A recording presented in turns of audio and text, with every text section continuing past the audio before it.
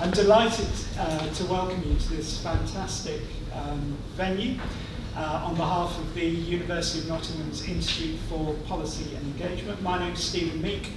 Uh, I'm the director of the Institute. The Institute uh, was created to help connect research from the university, connect it with um, policymakers and with the public. And I think this event um, I think we've certainly got policymakers, and I'm pretty sure we've got the public, and uh, all points in between here. Um, so this is a perfect um, event um, for us. Um, we've got uh, a stellar uh, and substantial audience here, which is not surprising. We've got uh, a great um, uh, event, and I'm sure it's going to be a fascinating presentation and discussion. I'm not going to say anything about um, the report, partly because I'm not really qualified um, to say anything about the report, but I did want to offer a few um, reflections on it. Um, the first is, and this is so typical of the work of the Resolution Foundation, is how it's an exemplar in how to present serious and often very complicated research and analysis in a really accessible and thorough way that doesn't compromise, doesn't dumb down, but tells the story. But it's just a brilliant uh, narrative. It's a fantastic um, read. Um, second thing I to say is it's a word that kept coming out, kept striking me from the report, which is serious. You know, we're talking about serious challenges. We're talking about serious situation that the country's in, and it's a it's a situation that demands serious solutions. And I think it's perhaps a reflection on what often seems a level of triviality in the way uh, policy is discussed and considered at the moment, where you know, one month's borrowing figures being slightly above or below what was expected is suddenly transformative, um, as if the issues that we're dealing with aren't issues that are 40 years or longer um, in the making. So I think, you know, all, all um, uh, praise for seriousness at a time when so often debate is trivial and debased. Um, but even though it's serious, it's not a council of despair. There's all sorts of solutions in them, but they're serious solutions. They're not quick fixes or fantasy economics. Um, third thing I want to say is how fantastic it is that this event is in Nottingham. Um, Nottingham features quite early on in the report, and it's for quite a grim reason.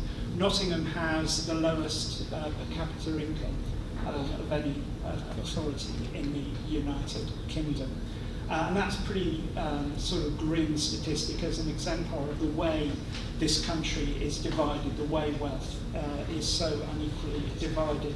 And it's also, I think, significant that it's in Nottingham, and Mel will talk much more eloquently about this, I'm sure, but, you know, Nottingham has been, in effect, is sadly the poster child for a failure to think seriously about local government, local investment and local finance by successive um, governments. Um, but also it's great that it's in Nottingham because Nottingham is such a fantastic city with such potential, so much going for it, and deserves so much better. And then finally, I just wanted to talk about the role of the university, uh, as you'd expect me to, given my role. So first, it's fantastic, you know, the university, Greg, uh, has been involved in the creation of the report. You know, universities as repository, repositories of insight and knowledge collaborating on important pieces of work like this is so um, important. But also, universities are part of the solution you know, the many sort of solutions, things that need to happen that are identified in this report, universities as sources of high-level skills, as things that attract investment, that attract students, that attract people from overseas. Universities as sources of innovation. I mean, just picking a couple of the areas that are identified in the reports. You know, the University of Nottingham doing a huge amount of work on the green economy, and in particular around green aviation, likely to be one of the sort of manufacturing solutions of the future. But also the university and you know the work it's been doing, and I don't know whether John Gathergood or Miriam Duggan are here, and they might other people sitting on the list. Um, the work that they're doing on fintech and the potential that Nottingham has to become a sort of fintech centre and thinking about you know the UK as a service economy and being proud of that. So anyway, I'll stop rambling now. I could uh, drone on for hours uh, about the report in a very poorly informed way, um, but I'll hand over to Greg and I think that was fantastic. Thank you. Okay. Okay, so I'm going to be talking a bit about um, about our report, ending stagnation, um, kind of setting out the problems of economic stagnation in the UK, and that's kind of headlines of our strategy of, of what we can do about it. Please take a look at the back if you want further details. This is in 15 minutes of a, of a big a big concept. So what's the problem? We used to have growth in this country, and ostensibly we don't have so much of it anymore. This shows 10-year um, growth rates in GDP per capita. Up till around 2008, we were fluctuating between sort of 20, 30%. After that, it has pretty much cratered. You might ask, why do we care about this? This is quite an abstract concept. fashionable to say whose GDP is this anyway. You know, we should all care about it. This is what's happened to wages over the same time. We're all basically getting paid a lot less um, than we would have done if growth had continued. How much less? If growth had continued on the same traje trajectory as it had up until 2008, we would be £10,700 per worker per year better off. I'm sure you're all agree, when the cost of energy is up £1,000 a year, when essentials are going up, that would have been very useful to have. But growth is the only problem that we have. We also have stubbornly high inequality in this country. We're the most unequal country in Europe. Inequality soared in the UK in the 80s and has pretty much plateaued since then. A, a lot of people think inequality is always going up and up and up.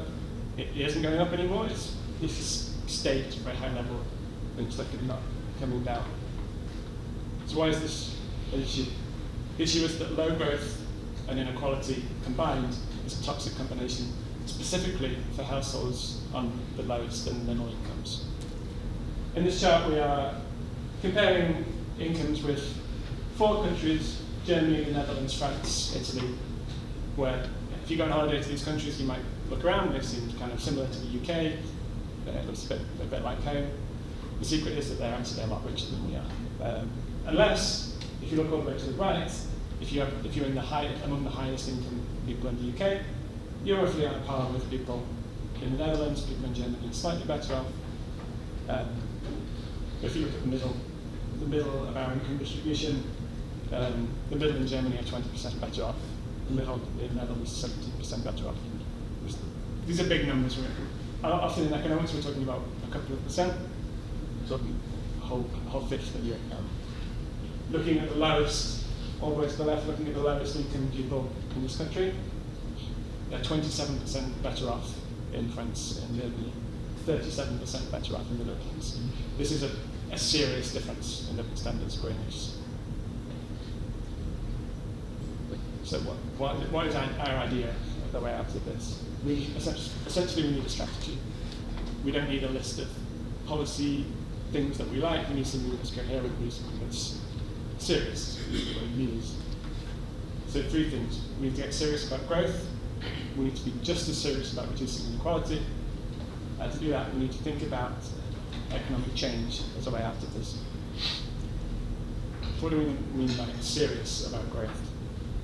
What's not serious is thinking there's a silver bullet, thinking we just need the right tax cut, or we just need the right policy, and we need to get back on track, or thinking we need to get back to the past where we all used to make things and go to work in factories, or we need to copy Germany and be a manufacturing powerhouse.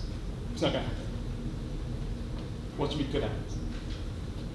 We are a services superpower. We are the second biggest exporter of services in the world after the United States.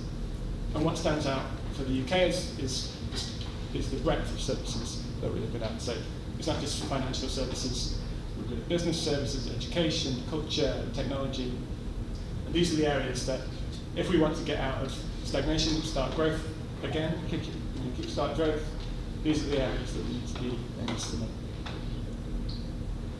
Looking at Nottinghamshire, the, the Nottinghamshire economy largely reflects the national picture of do dominance by services, manufacturing, construction is still very important.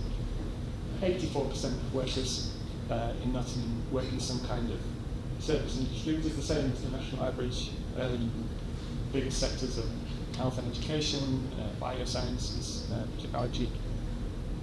So a strategy that focuses on investing in services is also going to bring up cities like Nottingham increasing productivity, increasing wages, um, making sure that any kind of strategy isn't just focused on, on London, it's focused on the whole country and cities like Nottingham. Talking about investment, there is no low investment way out of this. And that's exactly what we've been doing for 40 years. For the last 40 years, we have been the lowest investor in the G7. This is total investment, but anyway, any way you look at it, private investment, business investment, uh, we're well below average. We can get away with a couple of years of low investment. We can't get to decades of low investment. This is this is what we need to address. We need to be investing in what we're good at: business services, education, culture, things that we have a comparative advantage in. We also need to be just as serious about reducing inequality. Growth on its own will raise GDP, will raise, generally raise living standards, but it will, it will increase inequality. People, growth disproportionately goes to the people, the richest people in society. So if we want to share our growth, share our prosperity in this country, we need a, a strategy to reduce inequality as well. This is a two-pronged strategy. Work, a good work agenda, and making sure that we have a strong safety net. So what does a good work agenda look like? Looking at Nottingham again, because I think Nottingham illustrates the issue quite well. We have issues in Nottingham with both productivity and inequality. Um, the blue bars here represent um, productivity per job, per worker. Um, these are similar sized cities. You see Nottingham's quite low there, below the national average. And then the red bars here represent um, income per person, and Nottingham again, well below the national average. So investment in high value added service sectors is going to bring up blue wire like that, but we need to be realistic and not everybody is going to be able to work, you know, high paid, high value added.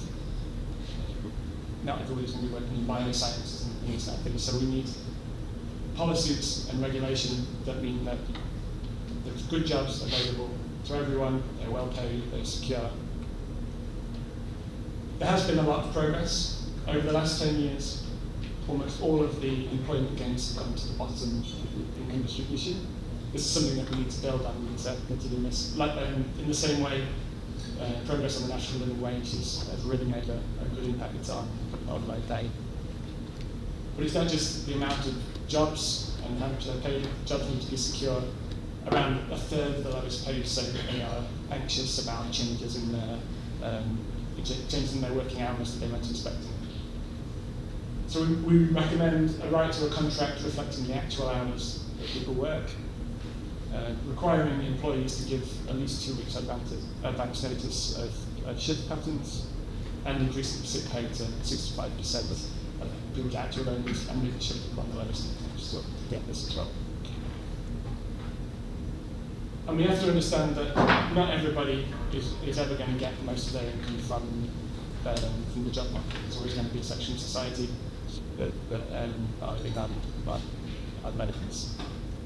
So we need to make sure that for those people, they're not being left further behind. This chart shows of unemployment benefits relative to earnings and how it's been falling steadily for, for around 50 years. We need to make sure that if we want to share prosperity, we need to make sure that working age benefits increase in line with earnings rather than with inflation, as you know upgrading the state pension in exactly the same way was paid for around half of this. And we also need to remove the sharpest edges of the benefit system. That means to try and limit the benefit cap um, policies that are pretty much just pushing the, the, the lowest income lives of families into poverty. We also need to make sure that any gains that we make, living standards are not being wiped out by ever increasing housing costs. And To do that, we need to build, and that's not what we've been doing. Um, this shows housing stock per 1,000 inhabitants in, in lots of different countries. The three dots are 1990 in red, 2010 in blue, and then 2020 in teal. If you look at France at the top, you can see the progress they've made from the blue to the teal, from 2010 to 2020. Italy took progress.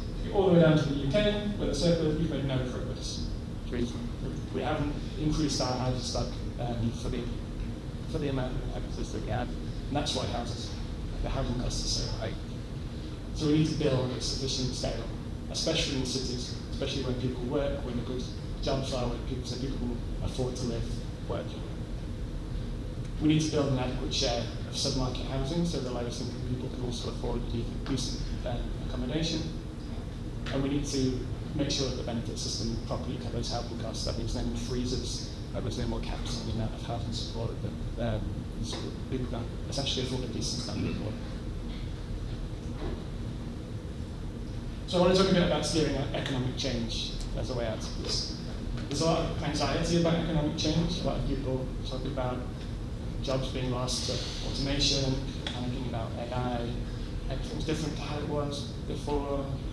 The reality is stagnation is what defines the current times. And since the end of the 80s, this chart's showing sectoral relocation as people moving jobs to different sectors. So it's, it's gradually been declining since the end of the 80s. I think this is just sectoral reallocation, but if you also look at people moving jobs within sectors, that's been declining as well. Why do we care about this? Because moving jobs is how people secure higher wage rate, wage growth. The bottom here is the median annual wage growth for all workers, and you can see how much bigger that is if people move jobs, and even bigger still if people move jobs and sectors move jobs in regions. So the less this is happening, the less these bigger collegiate rises are happening as well, and making stagnating But there are trade-offs to these kind of strategies. I want to talk about that a little today. These are very hard to read. This is not as sharp So And what we're basically saying is that the bars on the right, the high productive sectors need to grow. We can't grow everything, so we need to grow the highest productivity sectors. That means financial services, um, information and communication, that one says that you can't see at all, um, manufacturing as well. But to do this, the size of the less productive sectors doesn't need to shrink because we need to make capacity for the larger Things like accommodation and food services, which is very unproductive. We spend more of our money relative to the rest of Europe on things like eating out, and it's cheaper relative to how much things cost uh, compared to other countries. A good jobs agenda is going to raise the cost of low-paid labour, which means it's going to raise the price of these industries that rely on, on low-paid labour, which means the price of things like eating out would go up, um, and it would also create capacity for these more high uh, productivity sectors. We're going to have to do less eating out also. yeah. But I've been very gloomy, very, you know, very down about the UK economy, and I've told you you can't eat out anymore. What's the price here if we can, if we can achieve the strategy and achieve um, the aims that we have in it? We're looking here at uh, five countries that we typically think of the UK economy as being similar to, so Australia, Canada, France, Germany, and the Netherlands. We're not saying we want to be as rich as the Americans, we're not saying we want to be as equal as the Scandinavians, it's unrealistic. But if we achieve growth to the level that we can match income levels of these five countries, across the income spectrum in the UK, there would be an income boost of around 15%. That's great, but we think we can do better. Just looking at inequality, if we can reduce our inequality to the point where our income shares match these five countries, this is what it would look like. The bottom quintile of the income distribution would gain a little bit more, the middle quintile would gain a little bit less, and the, stuff would, would lose a bit. That might improve things a little bit, but it's not a big deal. If we do both things, if we get growth back on track, if we reduce inequality, so we're matching the income shares and the income levels of these five countries, this is what it looks like. The bottom quintile, more than 35% better off. The, the middle quintile, around 25% better off. There's even a little boost for the richest. You might not think we care about your University Foundation, but we do. Um, what does this look like in real terms? We've calculated it as an average of £8,300 per household per year. I'll leave you there to think about what you spend that time. Thank you.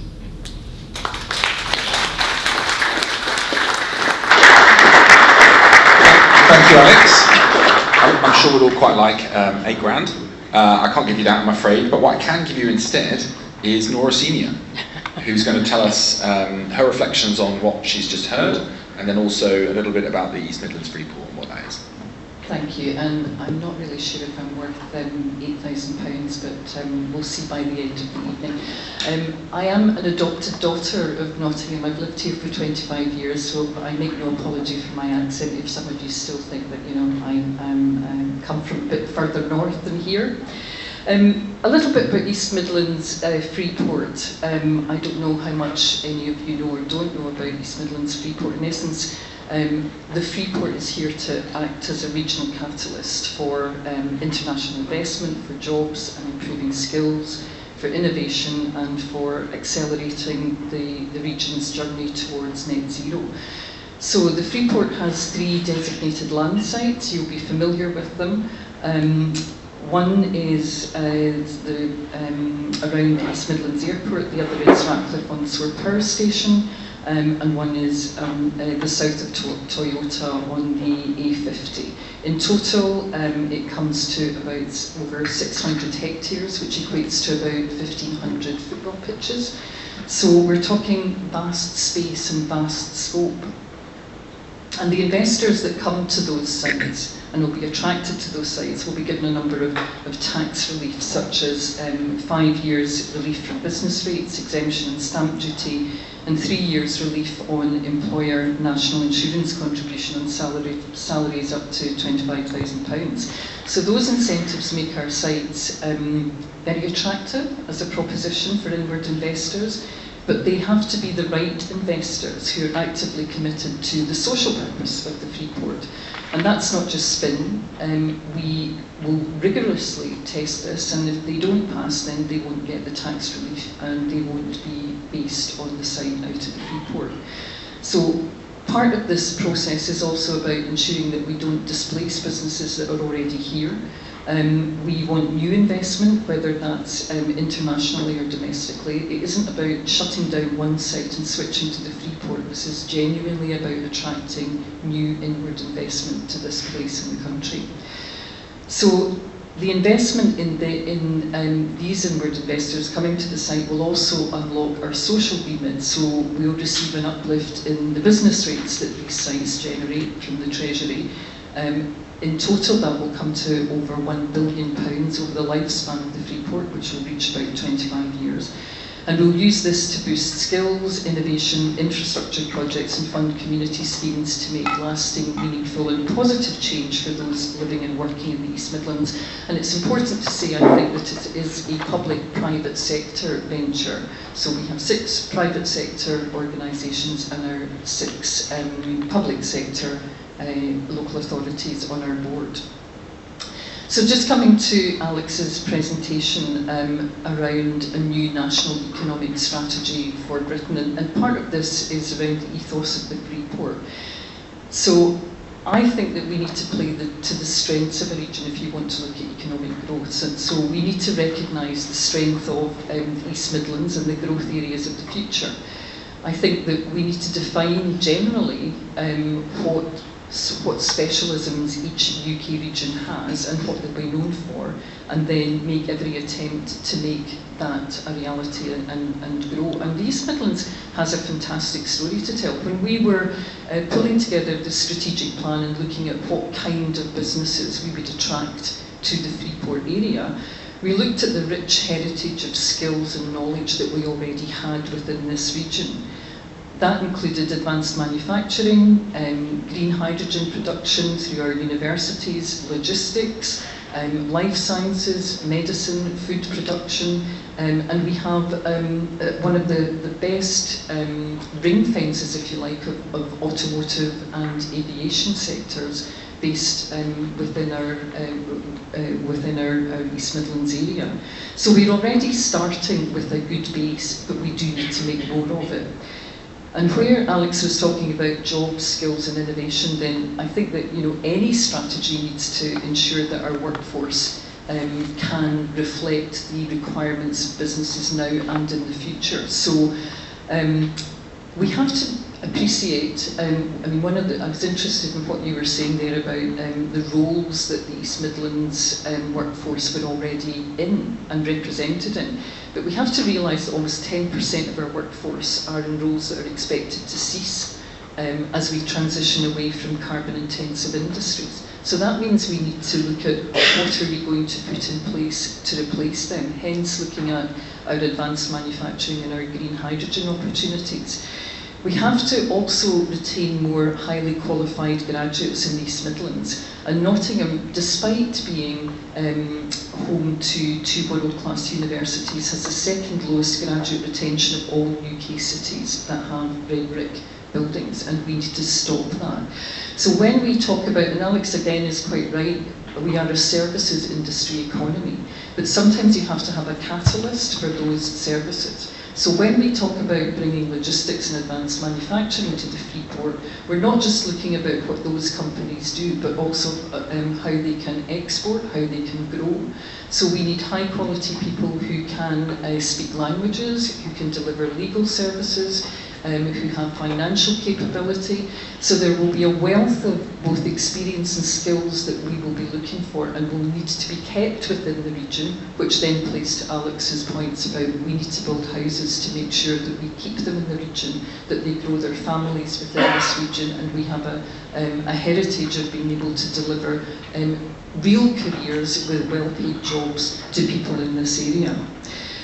Um, Alex also pointed out that um, the East Midlands has um, lower levels of government investment than any other area in, in the UK, and I think that the new mayoral combined authority will be a great step forward here.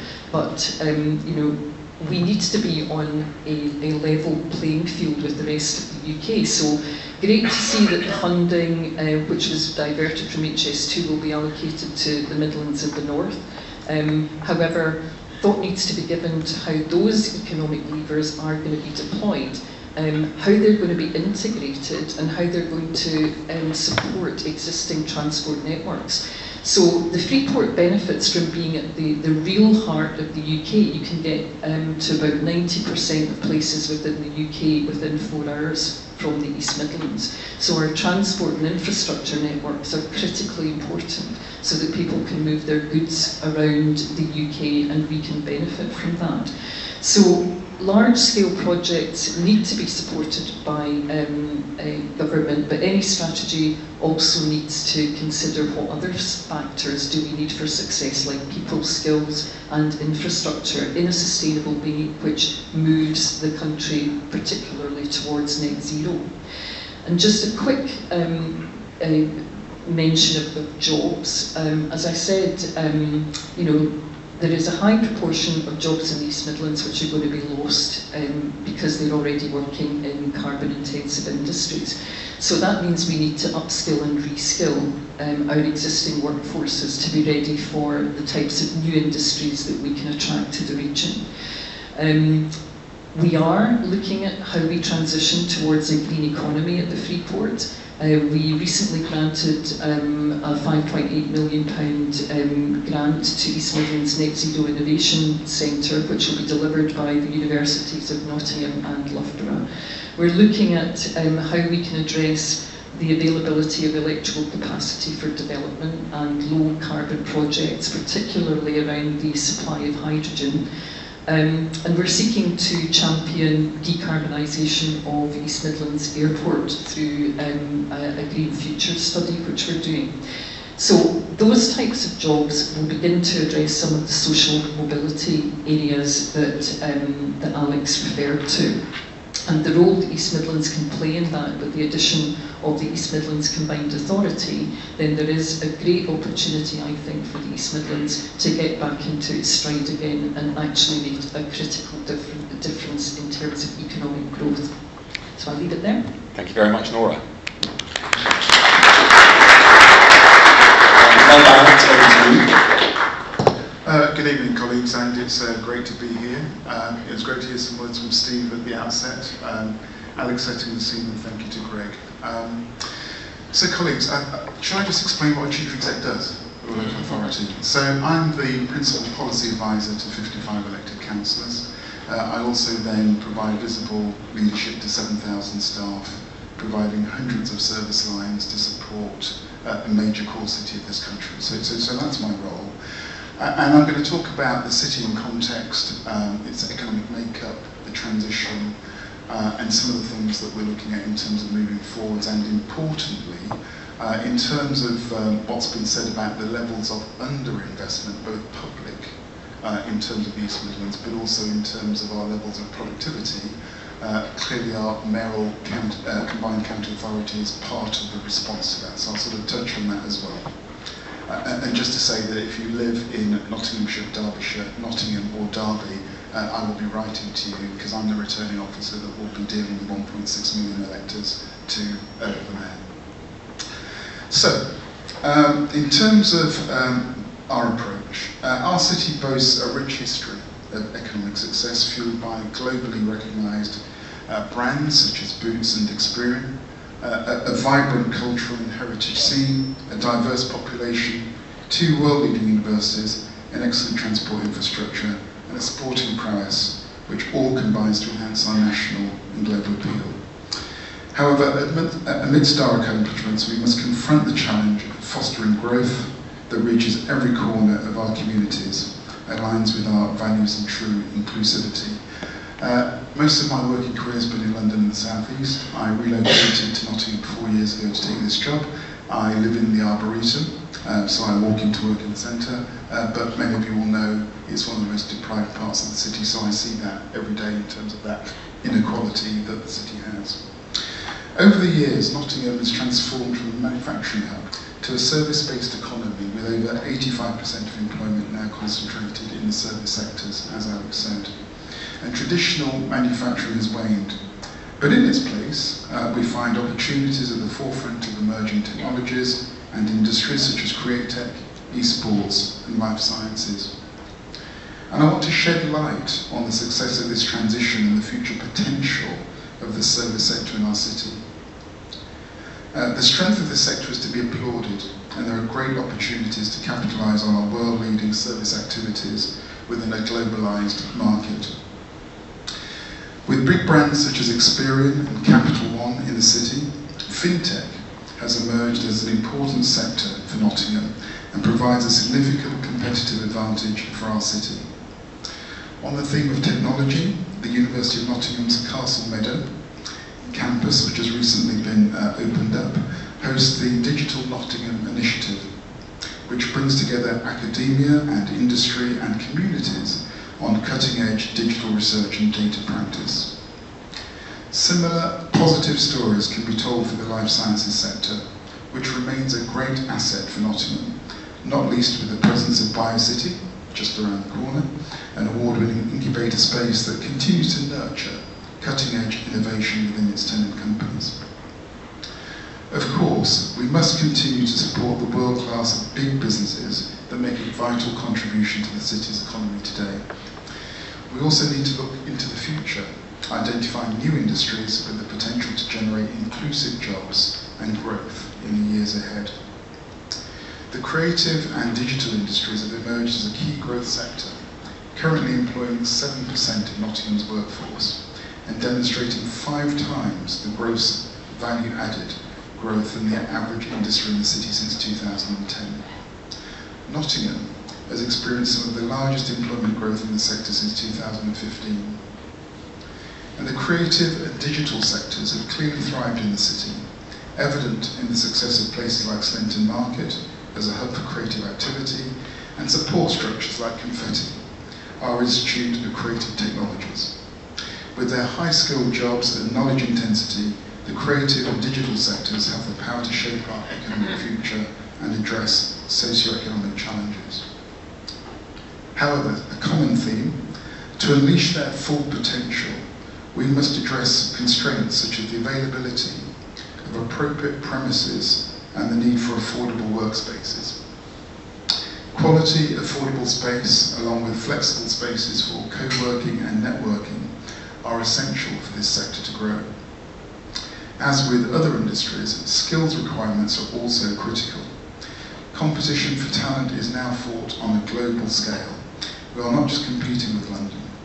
Access to university talent in our city has proven to be powerful, uh, but as Laura has said, demand for skills still outstrips supply. Access to finance to support growth has also proven to be successful. The recent expansion of the Create Growth Programme, funded by DCMS, enabled us to successfully bid for resources that will support growing companies in Nottingham and Nottinghamshire, helping them to secure innovation and growth funding via Innovate UK. But as we strive for economic success, further long-term investment in the sector will be required to realise the full potential of our region. As a city, we aim to utilise our strengths and opportunities to tackle the challenges we face, generating a successful economy that all parts of our society can engage with and benefit from. This inclusive and sustainable growth is what underpins our emerging economic plan for Nottingham. This is not a plan we own, we are curating it on behalf of Nottingham, our city. And I would encourage you to have a look at our website, read the plan, and complete the online survey um, to give us some feedback on proposals. Finally, I just want to touch on the um, uh, linking the economic plan to the response, which is uh, a mayoral combined county authority.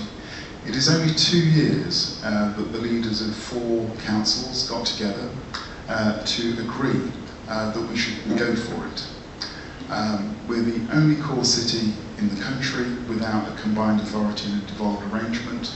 And part of the challenge is we've got over 300 local authorities in this country, and like it or not, sometimes when government wants to move quickly uh, in terms of investment propositions, underspends it wants to deploy, they speak to the metro mayors. They don't speak to 300 odd uh, local authority leaders. So we need to be at the table, and that was the basis of the conversation between the political leaders in this part of uh, the East Midlands. And I was delighted, and hopefully some of you saw it this uh, week, uh, that the Minister uh, signed the final bit of regulation, which now means we do have a, a, a combined county authority. Breakneck speed. To do that uh, within two years is, is, is truly impressive. So what will this do? Uh, well, it will mean that we get uh, at least 30 odd million pounds a year to invest and to leverage and to borrow against, uh, which equates to over a billion pounds over 30 years. But already, uh, government's talking to us about 1.5 billion pound transportation pot uh, that will be able to be deployed by the combined county authority, and there will be lots more to come. Whenever you look at budgets and you see what's happening in the West Midlands, you see what's happening in Manchester, you understand that in terms of government having confidence in delivery and accountability structures, it allows them to pass and flow more investment through. And therefore, that's really important for us, uh, that we have a strong and credible person who can be representing the East Midlands around that government table. Finally, uh, in conclusion, uh, Nottingham and the strong service sectors which thrive here are poised for success. Um, of course there will be challenges, but we look for we look towards the establishment of the combined county authority in the upcoming mayoral election, with a new economic plan focusing on partnership efforts to build on our collective strengths. And we have the potential to unite and shape a prosperous future for Nottingham, ensuring that the benefits of our economic growth are felt by all in our city. Thank you. Thank you, Mel. So I think um, some, there's been some really important themes coming out of what we've heard so far, and let me just draw together three, which I think all three of the speakers so far have mentioned. And one is that um, while we have some strengths, we're, we're starting from behind in, um, in a number of important respects. And then the second one, and this is the good news, that if you're starting from behind, you have potential to catch up, and that means lots of growth for ordinary people. And then the third one is that while we don't have a, a magic wand, we do have choices and it's these policy choices that I want us to talk about now. So I would love to hear your questions for the panel. Uh, CEO of the Mighty Creatives. We're a social enterprise based in Leicester, but working across the Midlands and particularly work very closely in Nottingham, Nottinghamshire the last few years, particularly with young people who are excluded from much of our kind of social and economic and cultural life. The very, the kids who are really at the shitty end of the stagnation stick, you might say. Um, I've got two questions really, one for Alex, one for Mel. Um, Alex, from the point of view of a small SME, so, you know, um, social enterprise, what can we do to help in that stagnation? Is it something we can do realistically and practically, or are we just looking at the big players in this kind of solar system of policymakers and all those policy drivers, or is there something we can do at a ground level to help those young people end that stagnation? And my second question for Mel is, um, very involved with Creative Quarter many years ago through development standard markets and the creative, uh, uh, digital industries development. And I'm sure we're all hugely mindful that whilst we know the power of the creative industries in the country and in Nottingham and the Shire, Nottingham City at the moment is about to cut all of its arts and cultural provision. There is a, there is a serious disconnect between what we're saying about the power of the creative industries and what's going on at kind of public level. Can you say something to give us some reassurance that that kind of cut isn't going to reap the havoc it could do? Is that something could be turned around to rec that recognises the power of the creative okay. industries in the kind of services industries and, and what we need to end stagnation? Thank you. All right, so I'll ask Mel to come in first, if I may. And then I'm going to ask, in fact, I'm going to ask Nora um, if she has any views on either question, and then if there's something that Alex wants to say after that, then Alex. So, Mel. Um, thanks, Nick. Um, and we have a meeting at the Council House on Monday uh, to determine budget savings. Uh, I expect protesters in Old Market Square, uh, and it will be for our elected councillors to decide whether to vote through a budget or not. And as you correctly say, uh, there are some significant proposals to cut uh, grants in that budget. So that's a, uh, a matter for elected councillors on Monday. But let me just say something around the context of that. Um, I think it's well known um, that this city is a wonderful, vibrant, diverse place. It's also well known that our council has been tremendously innovative and done some wonderful things in the past. Uh, you've only got to look at the tram system, the public transport system, and some other things. But we've also made mistakes. And some of those mistakes have been costly. Uh, and the cost of those things, if I think about an energy company, and if I think about some inappropriate stuff around the housing management uh, organisation, that's taken 90 million pounds out of the council's reserves, which has uh, reduced the financial resilience of the organisation. The other thing I would say, uh, in terms of the pressure that councils up and down the land are under, some of you may have noticed today that there was an announcement by government that 19 local authorities were re receiving something called exceptional financial support in order to be able to balance their budgets for next year.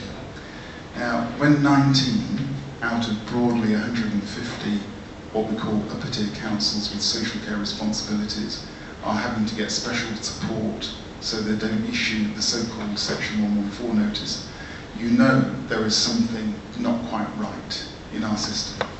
So the point I'm making is um, that we're in a place where very tough and difficult decisions are having to be made. And I think part of the reflection when I sort of talked about the economic plan for Nottingham being a plan for Nottingham, not a plan for the council, I think there'll be something about how does the city come together to support its people and to support some of its key sectors in the event these proposals come through.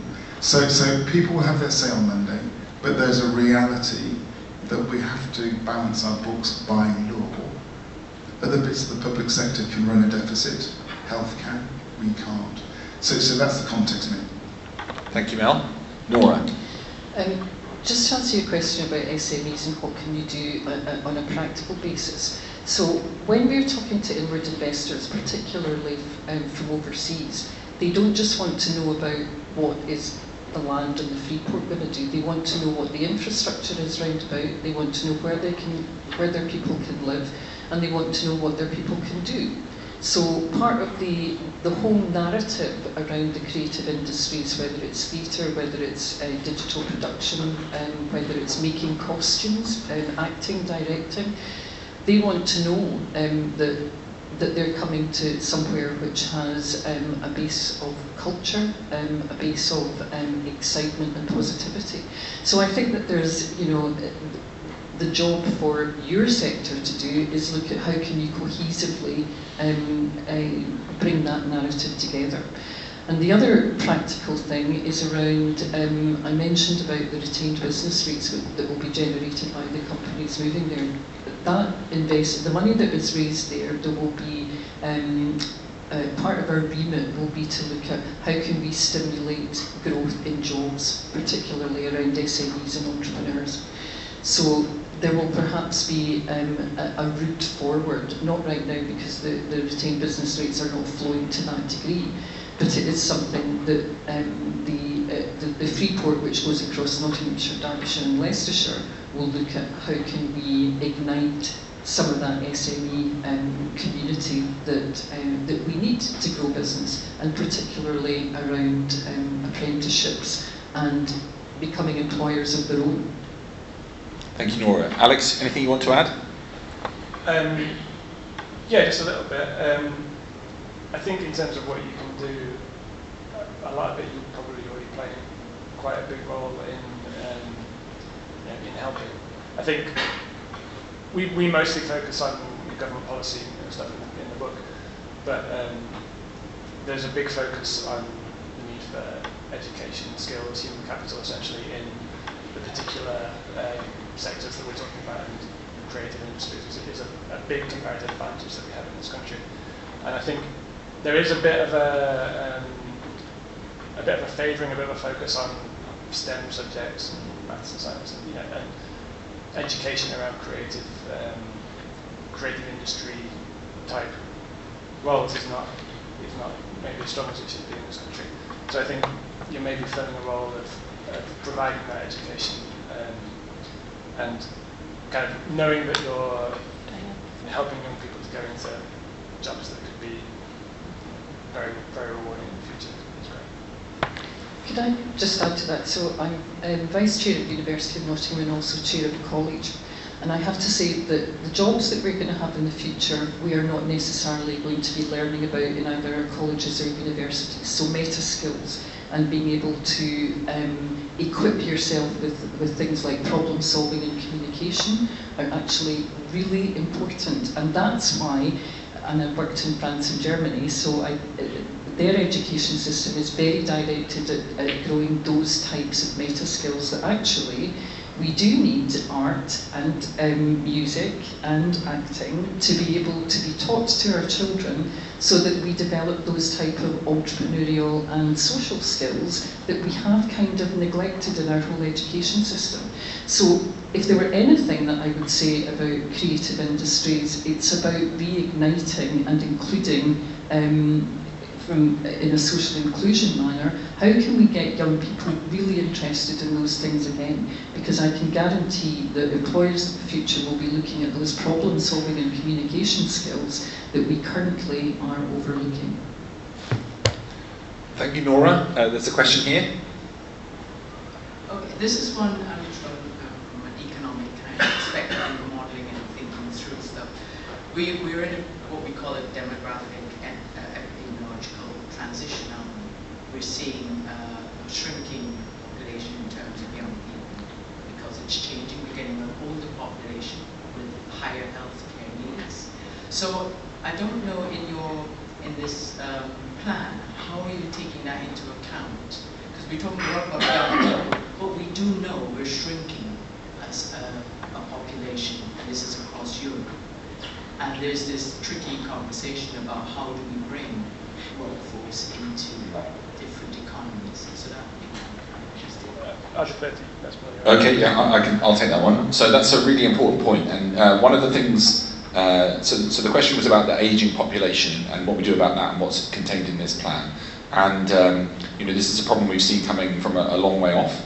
Um, and there are lots of um, there's lots of political debate about immigration, and, and, that may or may not be part of the solution. But, but one thing that is part of the solution is improving employment rates and hours worked amongst the people who are here. Um, what we, we actually did a pretty good job in the 2010s of uh, raising the employment rate amongst people of working age and then also people uh, uh older than traditional working age.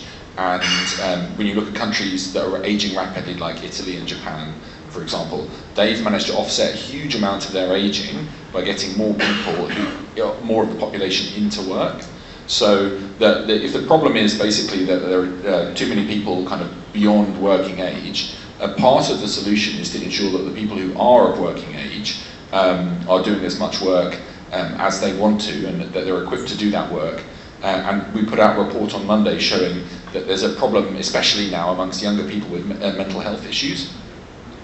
And it's now the case, for the first time ever, that you're more likely to be out of work with a mental health problem, with any health problem, in your early 20s than you are in your early 40s.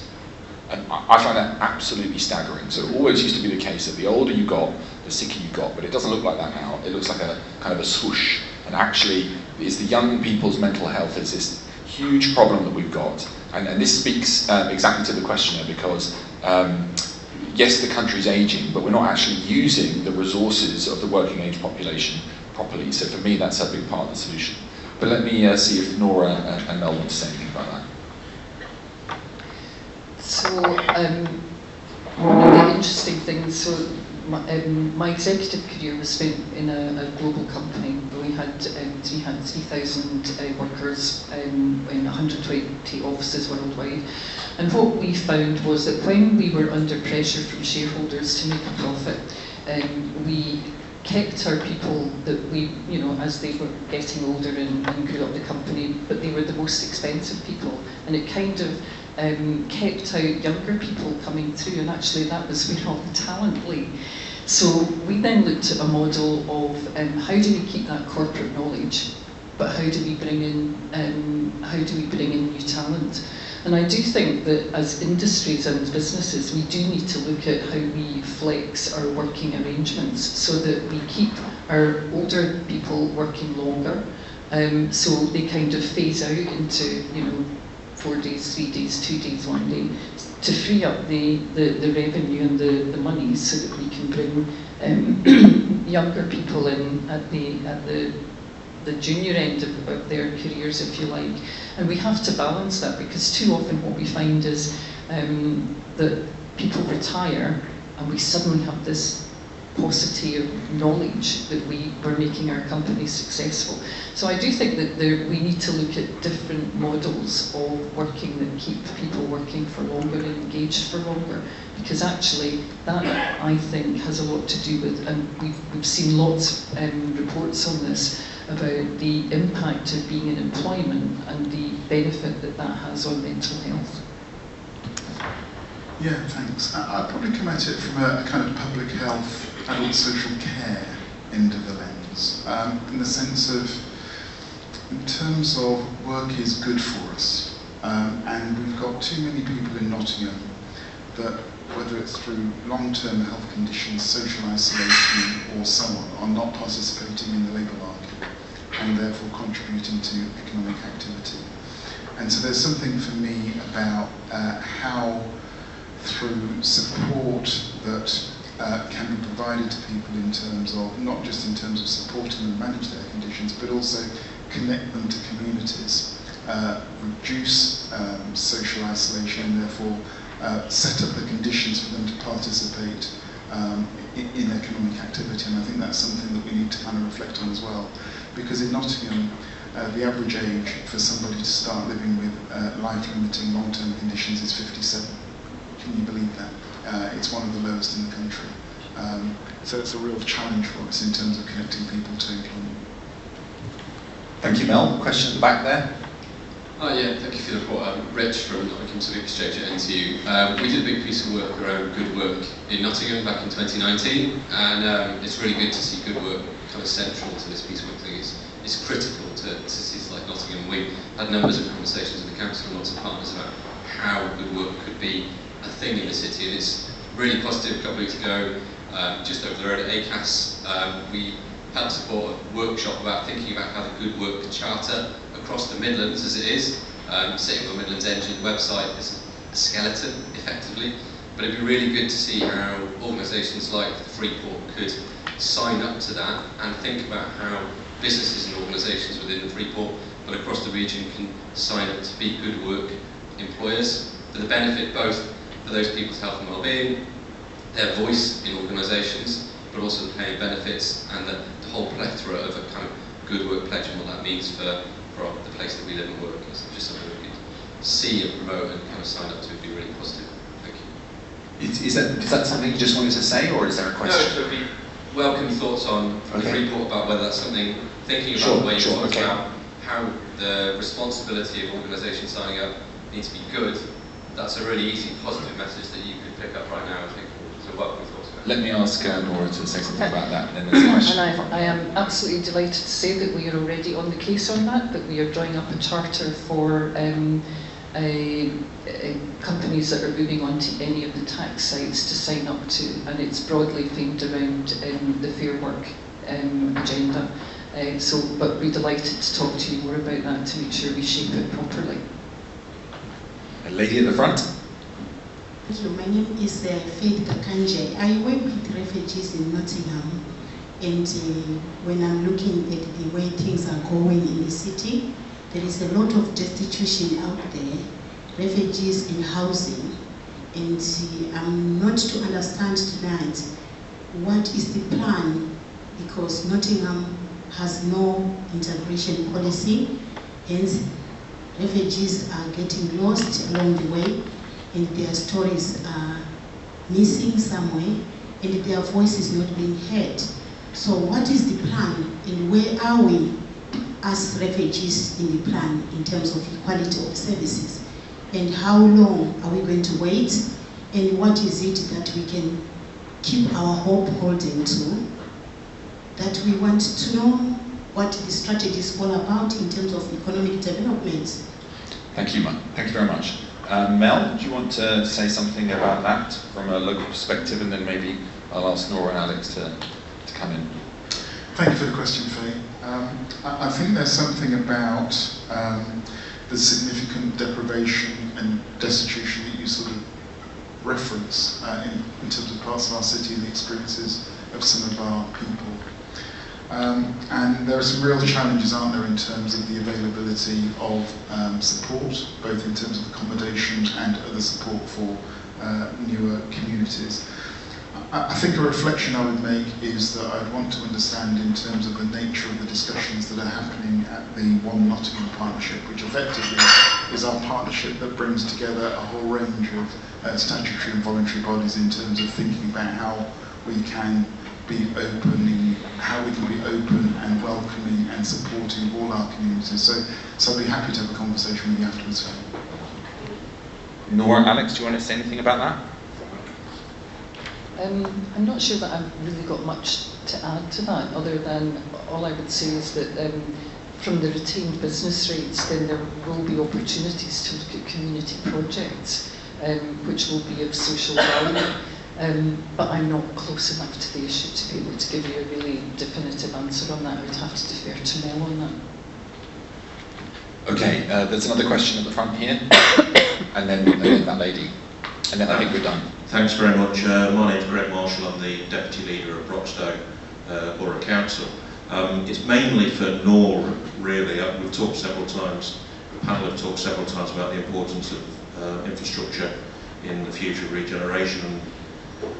Broxtowe thinks that they can hold the key to much of that, whether that's large strategic housing developments identified in the local plan at Toton, whether that's logistics at identified within the local plan. But, but one of the biggest problems I think we face is the, you know, devastating loss of HS2 at Toton, which I think could have been a bridge between, you know, high-skilled manufacturing and engineering at Derby and high-skilled academia and pharmaceuticals at Nottingham. The crumbs of that, I think, are still worth investing in, particularly the IRP station at Toton. But the funding model for that is a bizarre one. Outside of Euston, I can't see, it's a part private, public funding model for the IRP station. can you lend your weight, Nora, to try and shift that, that formula in conjunction with whoever is a successful mayor to shift that funding model so we can have a, you know, a fully funded infrastructure at that Toton site which will serve all of the East Midlands on that 900 Derbyshire border. Thank you. I mean, for me, um, the whole secret about, um, or secret, the whole route map to economic growth is all going to, is going to be about partnership. It's going to be about cohesion and it's going to be about ambition. So there are lots of discussions going on about various different initiatives um, and what the money from that would have been spent on HS2 would be spent on otherwise. There is going to be more funding on Junction 24, but we haven't quite given up on a spur on HS2. So um, that's all I can say at the moment. There are discussions going on at government level, and we shall certainly lend our weight to the benefit of, of the area. Okay, we've got time for one more question, then I'm going to let you loose on the free booze. Hi everyone, my name is Chi. I am an AI for Workplace Productivity Researcher at the University of Nottingham. So um, I have been listening to conversations about increasing productivity, more wages, growth, and upskilling. So I just want to know how agreeable to human well-being and productivity through AI are your policies and solutions. So the question's about AI and yeah, productivity? How agreeable to AI are your solutions okay. in upskilling? Okay. Um, do you want to say something about that, Alex? Or? Yeah. Okay. Uh, so AI is, um, you know, this is something that's changing very rapidly. Um, I think the problem in the UK is not uh, too many new technologies, but that we don't adopt the technologies that we've got.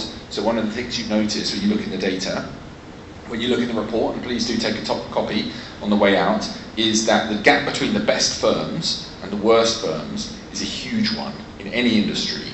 Um, and if we were able to uh, bring, uh, either take the resources out of the worst firms and put them in the best ones, or bring the worst firms up to the same level as the best ones, then uh, that would make a huge difference to national productivity. So the first thing to say about any new technology is like, let's use the ones that we've already got effectively, um, and, and, that will make the economy massively more productive. On the specific case of AI, um, I think uh, the jury is, is, still out. Some people are worried about existential risk from AI, that the robot's going to come and get us. Other people are worried that um, uh, people will be displaced from jobs. But you know, for 250 years at least, we've had new technologies being developed some people losing their jobs, and then entirely new jobs being created. So many of the jobs that people do in this city didn't even exist 20 years ago or 50 years ago. So the key thing is for the economy to continue to innovate, to generate new kinds of work as other kinds of work become obsolete. The second thing is there's a really nice paper by an American academic called David Autor, which I would recommend you to, it's very easy to read. Uh, he wrote recently about AI, and what he said was he sees a huge opportunity in AI in helping people access advanced skills. So at the moment, uh, if you need an architect or a doctor, you've got to pay someone a lot of money. Um, and if you're kind of in moderate, if you're like a moderately skilled person, you don't end up, uh, you, you, um, you suffer as a result of having to pay those high prices. And he, he sees AI as a way of democratizing human knowledge, actually, so that it becomes more accessible to people, and that might actually reduce rather than increase inequality. I don't know whether the panel want to say anything about AI, or, or go for the free booze. Well, I think everyone would prefer free but I would just say that in terms of um, AI, so 98.8% of businesses in the UK are, are SMEs, um, and SMEs are traditionally a, a sector, a, a, size of company which are very reluctant to adopt technology and really embed it. But the reality is that AI is already here, um, and it is used in many forms. Students use it to, you know, run through their dissertations and make sure that, you know, they, um, the uh, legal services use it to make sure that their um, spelling and grammar is correct. So it makes us more efficient. So I think that the, the aim is to be able to make sure that we can adopt in a practical way AI and let it grow with us rather than rail against it and think it's sitting outside the box because it's already here and it's already happening and we need to embrace it and make ourselves more efficient. I think on that, um, it's a really interesting regulatory space in terms of AI and work and productivity. I think it's obviously emerging very quickly, as Greg said, and um, it feels like it's going to be one of those things where nothing feels like it changes until everything changes all at once, maybe. Um, and I think with that comes a big challenge for, for government at all levels of um, you know, who owns that technology, what, what do we allow it to do, what do we not allow it to do. Um, so yeah, I think there's all kinds of challenges there, but it's obviously still emerging and still fresh. Okay, Alex, I'm going to stop it there. Thank you all very much indeed for coming. Please take a book. Thank you for your questions. Thank you for paying attention. And, and please follow the debate. Please follow us on Twitter, on social media. And if, if you don't want to take a physical copy, the, the PDF's there on the website. Thanks all very much for coming and thank you to the panel.